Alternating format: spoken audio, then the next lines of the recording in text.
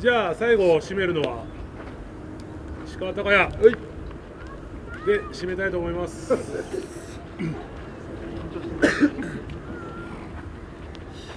こで大丈夫ですはい。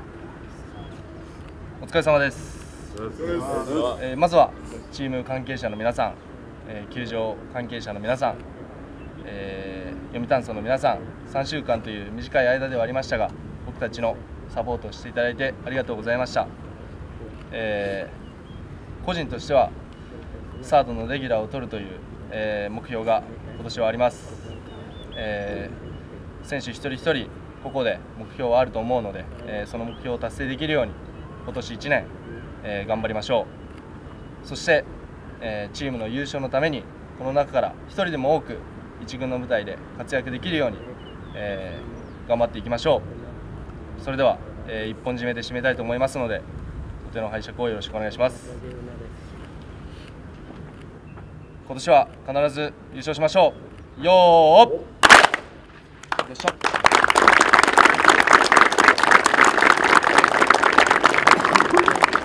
みんなハイタッチで終わろうか。よいしょ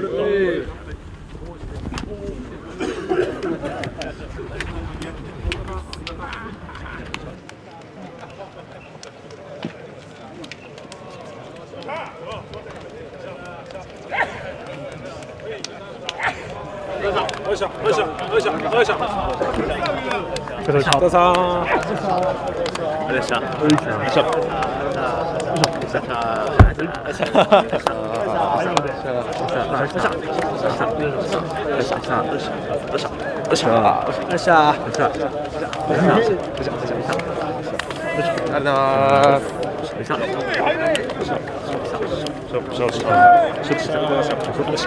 ししたした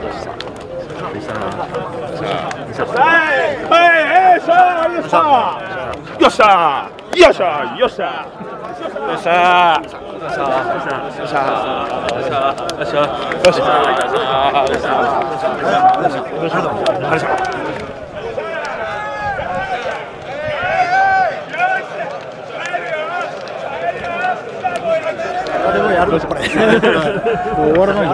じゃあ、よしゃ。はい、よしゃ。はい、お疲。し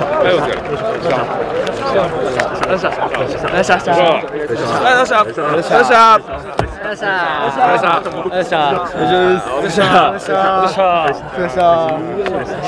っしゃ。よしゃ。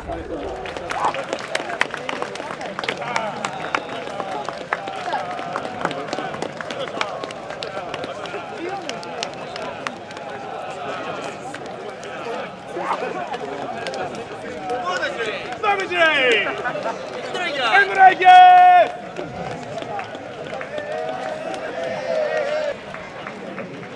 go.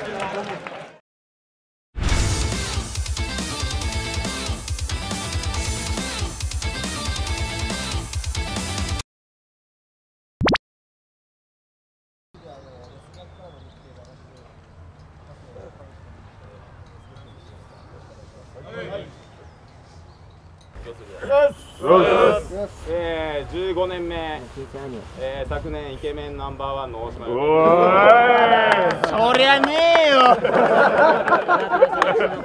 そりゃねえぜおい